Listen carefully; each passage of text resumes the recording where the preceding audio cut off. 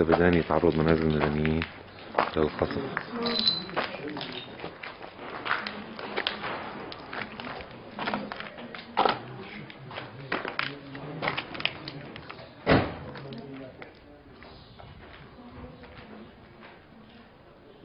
سقوط أكثر من مئة قذيفة